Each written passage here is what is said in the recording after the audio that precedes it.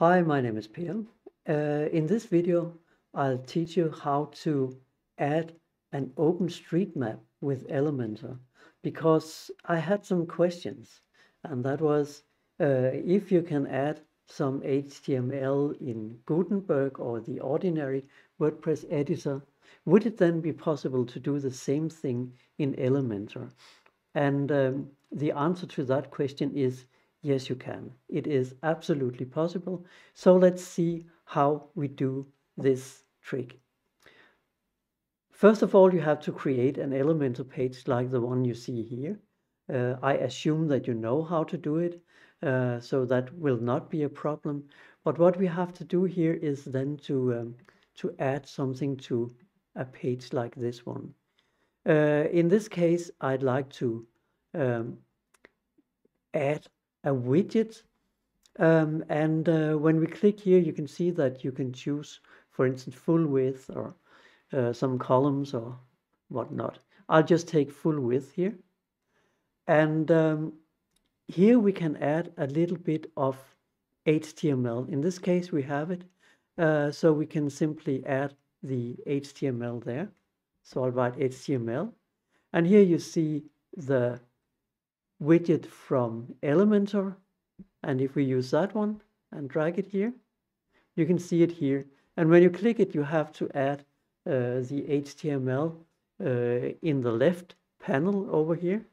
And if we make it a little bit larger, you can see your HTML.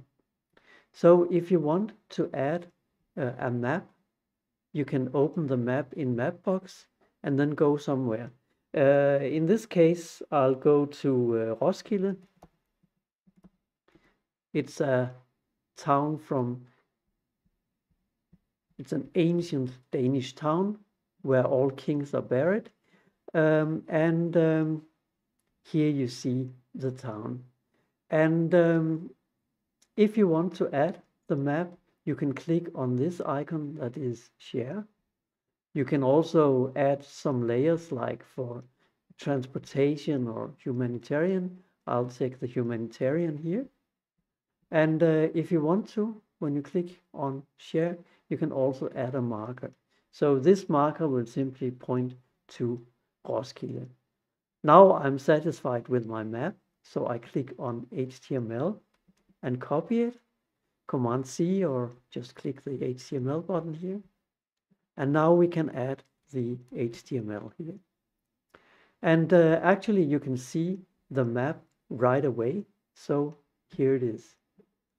So that was uh, the um, map done with the uh, HTML option. But what if, if you wanted to add HTML in the ordinary way uh, with the uh, WordPress widget?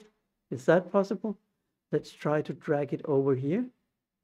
And uh, then you can see that you will have to add a title and a content.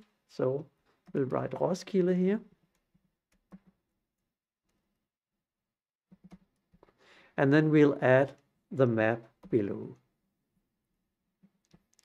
And if I click apply,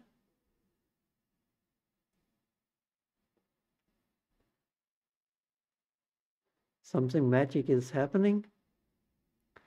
And then you can see now we have a map also. So it's uh, the same map more or less that we get here.